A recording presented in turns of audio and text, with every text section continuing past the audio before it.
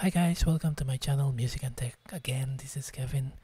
Today I want to discuss with you using your Scarlett 2i2 Gen 3 audio interface in your Zoom meetings.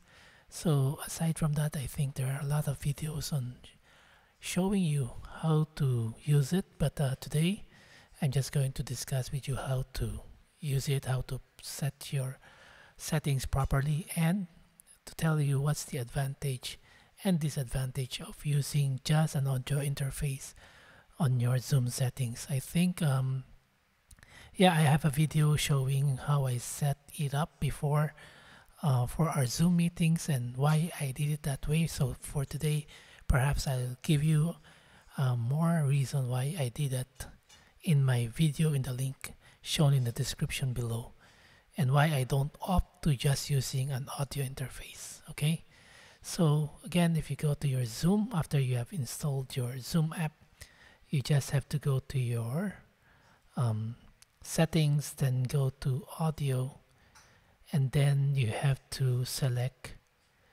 your Scarlett 2i2 yeah so you see it's now coming in. So you should increase the volume actually. And then um, also for the test speaker you have to increase it. And then you have to set this to low because um, it will disrupt your um, zoom sessions uh, somehow the uh, zoom with with it, all its uh, algorithms will try to suppress and then interfere with your sound. So it will not sound nicely in your zoom sessions. And then since you're using a um, audio interface then you can select um, original sound and use high fidelity so that you have a very good sound quality. And then for the other settings I just keep it as default. And then okay. So if you would see my audio interface I have my microphone. I have my digital piano connected via XLR cable so yeah if you would see that I can only I would increase my gain through to around past 50% but if you if you find that the sound coming from your mic for example if you're going to sing if you're going to speak is too soft then you can increase the gain um, appropriately or accordingly. And then just make sure that the the indicator light doesn't turn orange especially red. Because if it does hap- if that happens then your audio is getting clipped. So you have to avoid that. And then for my piano if you see yeah. I will set on, set it only up to around um, 40% I would say or 35% because if you increase it too much then it will be too loud. And then you see it will turn a bit orange in color. So it's too loud already. And then you have to be mindful that um, your audio um, is not I mean your keyboard sorry. Your keyboard is not overpowering your um, microphone. Because if you're going to sing then the dig your digital piano input is too loud then of course it will overpower your um, microphone. So um, uh, for us how we do it is that I will ask someone who is not on site to do a sound check for me and then I would balance the sound of my mic and my keyboard. So again if you would see uh, because I'm just using a Scarlett Gen 3 2i2 audio interface.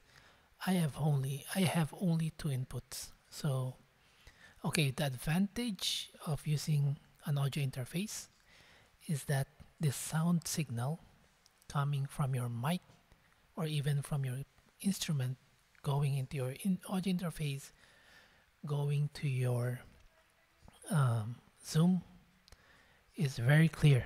It's very clear the signals are very clear.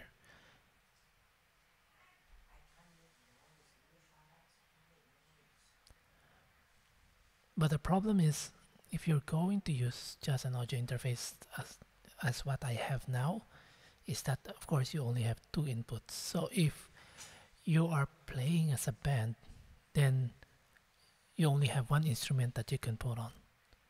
So if you have a guitar or a bass or drums then you have no other place to uh, input that into your audio interface. So that's one problem.